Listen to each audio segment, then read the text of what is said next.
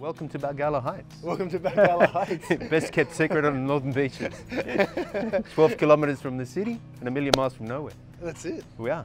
Well, We I are. mean, go for it. I mean, what, what is it that brought you here? Because I know that you, you just love the area and The you area's- live down the road too. Yeah, so we've been in locals for 23 years, uh, business here for 12 years. Uh, great community, schools, people, beautiful area. Yeah. Love making coffee, so here we are. I know, I know. Actually, so it is a busy time in the morning, and we have stolen uh, Andrew from the shop, to, and he is serving coffees right now. But uh, thanks for joining us. Pleasure. So this is Andrew. He runs CK Bites and owns and operates CK Bites with his wife Connie. The, Um, big, the big boss. the big boss.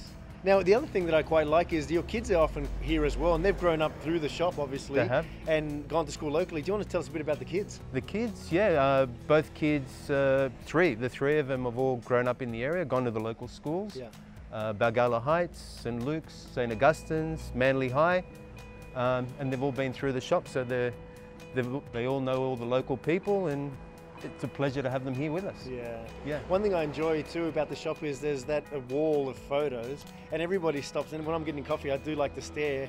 Any photos in particular jump out at you that you remember, or they It's all just, are just all good.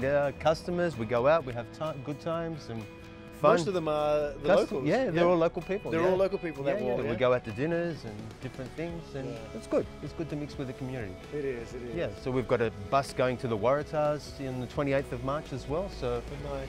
So we do a lot of community things as well. Oh, that's nice. Yeah. Well, I mean, it's, uh, real estate is all going to be about living local, and we think you guys are a shining example of that. Thank you. So I'm really, really happy you took the time to chat to us. Thank you. Um, we're going to uh, take some shots of the food, the lovely food, and really, if you're after a good coffee in Balgowlah Heights, like this is, uh, you know, we know that there's others around, but this is really a great. We stand coffee. out. Yeah, yeah. So, thank you so much Pleasure, for joining sir. us, Andrew. Get back Pleasure. in and get your coffees done. Thank you.